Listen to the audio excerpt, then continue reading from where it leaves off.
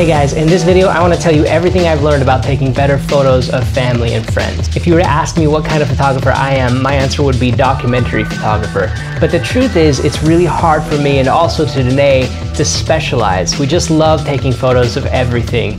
And though social media superstars will say you really have to specialize and that your Instagram page needs to look consistent, and the pros will tell you they have to specialize or you'll just never make it, I just can't do it. There are just too many things that I love to photograph and um, I just can't see myself settling into one thing and focusing on it. But at the end of the day, the photographs that matter the most to me are the photos that document the journey of life. 30 years from now, I'm not gonna care at all about the fashion shoots I did. It'll be the photos of my kids when they were young or, or photos of loved ones or pets when they were still alive that will really matter. So to me, this is the absolute most important area of photography that I'm interested in improving. Now, I don't wanna patronize you. I do get tired just like you of all of the how to take better photos, articles, and videos. And I really debated making this video, but there are actually a few key things that I've learned that I feel like aren't talked about as much in some of the articles I've read on the subject of family life photography. So hopefully wherever you are on your journey, there will be at least something here that you hadn't considered, hopefully. So, at the risk of annoying some people, I have decided that I do want to share with you my eight tips for better domestic documentary photography. In the corner of our kitchen area, we have a small photo wall that has become a sort of designated place for all the candid documentary style moments that we capture I actually have this set up so it will remain sort of timeless. I can always update a photo to keep this wall current. The square crop in the black and white format means that no matter when I decide to update a photo, it can just fit right in and not appear out of place, regardless of how our color grading styles might change or evolve through the years, or regardless of what aspect ratio the original photo is taken. These are also high quality acrylic prints with metallic coating, and I just really love the look. But when I look at these photos, especially the ones I really love, most of these photos would never have happened if I decided to listen to that little voice in my head that said, Psst, hey, you don't need to take your camera out, you're just going to the park, dude. Or like some of these photos, which were at the museum, which has horrible lighting conditions. I'm really glad I didn't listen to that voice, or some of my favorite photos just never would have happened. But the principle isn't just to have a camera with you everywhere you go, it's also to keep a camera with you in easy reach at home. If your camera is in a camera bag in the closet, I guarantee you will miss some of the best moments that can happen around the home. So that's really one of my tips, but I know I know I promised you that I would talk less about the aspects of family documentary photography that are obvious, but we had to talk about that tip before the next one. So having done that, let's talk about tip number two, which is to always be aware. This is the one tip you almost never hear, but I'm absolutely convinced it makes the biggest difference between really good photographers and average photographers or even just really bad photographers. Poor or inexperienced photographers only take shots when a shot is obvious, when a scene just hits them over the head, or when they've gone through great lengths to arrange a shot. You just hike the mountain. What do you do? You take a photo of the family in front of the view. You just arrived at Paris after a 24 hour flight. What do you do? You take a photo in front of the Eiffel Tower. You want a photo of your kids on the first day of school. What do you do? You line them up on the front porch and you have them hold up a sign that says what grade they're in. But the best photographers, they're constantly aware of what is surrounding them. They think about photography when they don't have to think about anything. While going through their daily lives, there's some small portion of their brain, some sub process dedicated to analyzing the scene. It's always aware of potential subjects and how the light is hitting them. It's aware of contrast and negative space. It's aware of rhythm and variation, principles of hierarchy and composition. And in some cases, it may not even have terms for all those things, but it is the part of your brain that will know how to make a strong photo that has deeper meaning. And if something jumps out as being something that has potential, maybe it's a potential landscape scene or a decisive moment on the street, or more relevant to what we're talking about here today, a significant moment happening in your life or the life of a loved one and in good lighting conditions, your brain brings that up to your conscious level. And if you've got easy access to a camera, you're in a position to act on it. So the big question is, how do you get your brain to the point where it's working for you all the time? And the answer is actually very simple. It's back to tip number one. This is where tip number one of keeping your camera on you at all times and tip number two of awareness come together. I know that if I have a camera I'm aware of, I'm also going to be aware of what's happening around me. If it's a little inconvenient, chances are you're not going to forget why it's there. If you're like me, you need that reminder around your neck that no matter what you're doing, you've got a job to do, and it's amazing how well it works. So when it comes to what camera you choose to put around your neck, I suggest the size makes a huge difference. While a full frame camera with a massive 1.2 aperture lens will give you some face melting bokalization, thinking about it realistically, is that a camera you're going to keep on you for a family picnic or a 20 mile hike? It's probably unlikely. Remember, the size of your camera is directly proportional to the amount of time it will be on your person. And also consider that it's not just a matter of convenience. Having a large camera can draw attention to you and makes it much more likely that you'll be too self-conscious to have it at social gatherings or outings. For instance, going out to dinner, or more commonly for me is at the park. This may come as a shocker to you, but I don't like taking a huge camera with a massive lens with me when I visit the park with my kids. Nothing says pedo creeper guy quite like a 5D Mark IV with a 70 to 200 2.8 lens. It's also a bit harder to be up close and present with my kids with that massive of hardware around my neck. Now I know what you're thinking. You're thinking, well, that's what my smartphone is for. And yes, smartphones can really take incredible photos these days. Certainly I've got some that I really love when I didn't have anything else with me.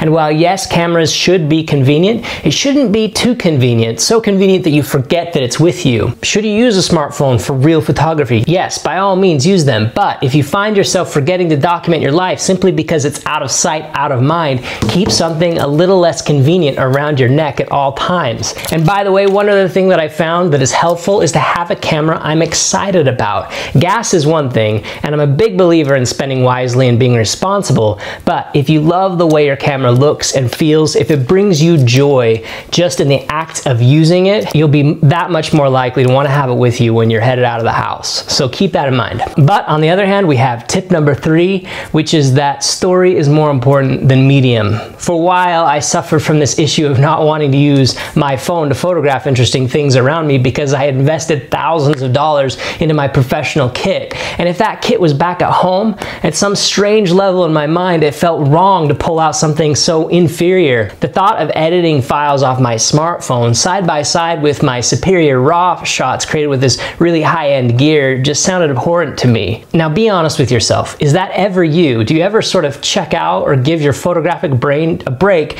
just because you're stuck with only only a smartphone? Denae's a really good example for me here. She doesn't have any sort of arrogance when it comes to what gear she uses. She also has taught me that capturing the moment is what matters most. She actually shoots with her phone far more than she does with our Fuji. So for Christmas, I got her this little guy, the 58 millimeter moment lens. She loves taking portraits and she really loves the more portrait lens focal lengths. And she loves being able to post that instantly for friends and grandparents without any fuss. So this really has been the best photographic gift I could have given her. But the thing about it is that when it's attached to the phone, it does create a little bit of inconvenience and that reminder, again, that awareness that you have a job to do. And so I'd say it's a pretty good solution for some folks. But even more than that, I, I really think a lot of photographers just refuse to use a smartphone because it's almost like they're admitting they didn't really need all that expensive gear that's sitting back at home. Swallow that pride, take out that phone, and remember story, good composition, good lighting, and right emotion. All of those elements can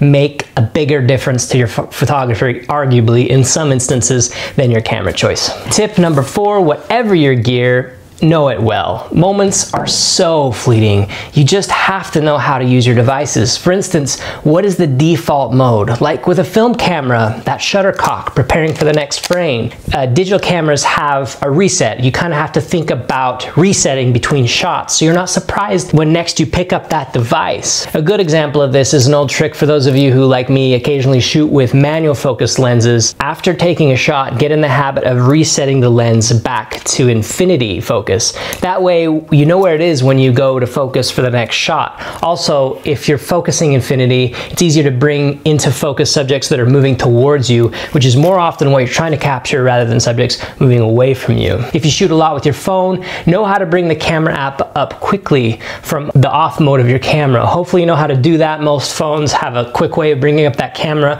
without unlocking the phone. Create some muscle memory around that so there's no wasted time. And with your digital cameras, when you finish to shoot and you yank that memory card out, get in the habit of resetting everything to either a known default or just stick everything into auto, including the white balance. Doing so will save you from missing or messing up shots next time you pick it up. For a while, I would grab a camera and miss a really cool opportunity around the house because it was midday and my camera settings were set up for low light, like I'd been shooting the night before or something, and the wrong white balance. I just didn't have time to get all the settings right and still catch that moment. So now that I have that reset habit where everything just goes back into auto in between shoots, that helps ensure I won't miss a moment if I'm in a hurry next time. But that leads to my next tip, which is to not be too proud to shoot with some or all settings in auto mode. Missing a shot because only noobs shoot in auto mode is a terrible excuse. This is a lie some photographers tell to distinguish themselves or to establish legitimacy. Of course, you should know how your camera works and how to balance an exposure and depth of field using the full manual features that your camera has. But if you miss shots because you were too deep in a menu or fussing about with a dial and the moment passed by, that doesn't prove anything anything to anyone other than that living up to some false notion about what real photographers do was more important to you than actually getting the shot. If you're worried about impressing people, then stop missing good shots. Don't get caught up in what real photographers shoot with or what settings they use. Just get the shot. Tip number six, you don't have to photograph every step of the journey. Some people want to take selfies or group shots in front of every single interesting thing they see, but these photos suck. Nobody likes to look at them. They don't tell any sort of story and it's lazy photography. Now to be clear, I'm not saying don't photograph the landmarks. Sense of place can be very important in sharing the full story of an adventure or tying a moment to a memory, but don't beat people over the head with it. Guys, think of it this way. You're not trying to create a logbook. What you're trying to create is a poem. Great poets are not literal and they don't have a lot of words to work with. A poet is trying to capture the essence of a message in only a few carefully crafted rhythmic and pleasing phrases. A good poem doesn't beat us over the head with a message message. Rarely are the words literal, and most of the time they say a lot more with less. Treat photography the same way. Use a small number of photos to capture the emotion of a full journey. Take photos that matter, that are interesting for more reasons than just to log a certain person was in a certain place. Look for ways to tell a story in more than just a literal way. For instance, photograph the trappings or the details of a journey. Use negative space to create isolation. Look for and anticipate emotional moments. If you're being more selective, you'll also be anticipating. If you're so caught up in catching everything, you'll end up with a lot of mediocre shots. But if you can have a sharp awareness for and anticipate the magic moments, the few photos you come away with will mean much, much more. Opening presents, for example. Don't try to document every gift unwrapped at Christmas, birthdays, or other celebrations. Try to know ahead of time which of those moments are going to really matter and be ready to capture those moments. Or be ready to react to those micro emotions, those little sweet, subtle moments between loved ones that you might otherwise miss if you're too busy asking Molly to hold up her brand new My Little Pony doll and smile big for the camera. That doesn't mean take less photos, but maybe it does mean being more selective about what we point our camera at. And it certainly means being more selective about what photos we decide are keepers. To be a better photographer, you've got to become a better editor. A documentary photographer takes hundreds or thousands of photos on location, but usually only very few are printed. Your audience doesn't have time, patience, or interest in reviewing your logbook. But if you can capture a small slice of real, meaningful story that can sum up or convey what your adventure or memory really meant at the time to you, that will mean much more to an observer and to your future self than just about anything else you do. My next tip is to bring more interest into your shots. Newer photographers seem to have an obsession with shallow depth of field because it's an important way for them to begin to separate themselves from other people who are not photographers. It's a very simple way to create separation between the background and a subject, and there's something about it that newer photographers find captivating. And I'll admit, I was there for a while also. Don't get me wrong, a blurry background can be an important tool for composition and look really great to some people. But just as with learning a new language, try to expand your photography vocabulary by using other ways to create emotion, meaning, and to bring to the eye what it is you want your viewers to see. Additionally, don't just photograph the interesting things that happen. Compose it. Be aware of what's around it. Can you separate the subject from the background by moving a few feet one way or the other to find a better contrast? Will the light be better from the other side? Can you frame the subject somehow? Can you introduce some sort of interest in the foreground? Can you work with the shadows to try to bring focus or direct the eye to a point of interest? Can you find some leading lines? Are there some elements that are too bright or colorful that they will distract? If so, can you compose them out of your shot? By thinking this way long enough, your brain will work its way through these questions in milliseconds. In short, be aware of all the elements surrounding your subject and embrace them. Deal with them as much as you can. Don't completely obliterate them by always blurring everything into oblivion. It will make you lazy and you'll miss opportunities to bring more sense of place into your photos. Tip number eight, don't beat yourself up when you miss shots. If you allow yourself to dwell on missed moments, photography will quickly turn into something that's stressful and become a negative thing. I'm sure we can all think back to moments that we regret not capturing, but the only real way forward here is to rejoice in the moments you are able to catch and accept and learn from the moments that you don't. But if you're doing that, your ability will improve. Let the frustration and doubt be replaced by a focus and renewed anticipation for the next moment. But you do need a plan to improve. If you don't take action, you will keep making the same mistakes, and that will lead to more missed shots. When I was learning, I kept making the same few mistakes. Things like having the white balance set wrong, or not realizing that the ISO was still set to 3600 from a previous night's shoot, or shooting with too shallow a depth of field for a group shot. These can be frustrating mistakes. To overcome them, in addition to resetting everything to auto mode, like I said before, I would also place a sticky note on the back of my camera that was written the thing that I was trying to approve. And I would keep that on there until that technique or the awareness of that setting was beginning to become second nature. Another way to work on this is to actually practice. Consider that taking lots and lots of photos at times when you don't think it matters that much or you're not really likely to capture anything interesting can actually be one of the best times to take photos. It gives you a low stress and controlled moment to improve your art and to better master your tools. For more suggestions here, take a look at a video I did for anyone who has ever said the words, I don't have time for photography. But that leads to my final tip, and that is that when you do miss shots, it can be really tempting to try to manipulate the scene or try to recreate what you might have missed. My final tip is to not do that if your kid just did something cool and you missed it because your camera was in the other room, you may be tempted to run and grab the camera and try to get them to do it again. But if you are too overbearing or you do this too often, your children will start to resent the camera and you. It can also create negative association if you're always stressed and trying to coerce a certain pose or smile out of them. It can make the whole process stressful to you as well, and you may begin to associate negative emotions like frustration and impatience and judgment into your photography. In short, if you missed the moment, accept that you missed it Enjoy the moment for the joy that it brought you and go get your camera so that you're ready for the next time something interesting happens. Unless it's someone's deathbed, you'll always have more moments to look forward to. In addition to that, I would advise you, especially with kids, don't take portraits unless it's an actual portrait shoot. If you're always trying to get your kids to look at you and smile, they will soon learn to hate your camera. And this will lead to a lifelong issue for them. Trust me, as portrait photographers, Denae and I deal with your kids when they are all growing up and they have camera complexes because you made it a negative experience for them. Stop doing it. But beyond that, the best photos, the ones that you really value the most, really are the ones that happen naturally. I like the analogy of Oogway from Kung Fu Panda. You can't force a seed to grow. All you can do is prepare the environment for it to grow. Something like that. So, spend time with your loved ones. Try to be with them at interesting locations and in good lighting. Influence them softly, never demand a pose out of them. And be observant and prepared. And don't get in the way, or worse, try to control what life is bringing to you. Adapt to the scene, anticipate the scene, accept whatever comes to you, and know that the best photographs are in front of you, not behind. Okay, well, that's all my advice. I really do hope you found something in there that was valuable. If so, you can thank me by sending me money or by subscribing. One of those two things, whichever is easier. Bye.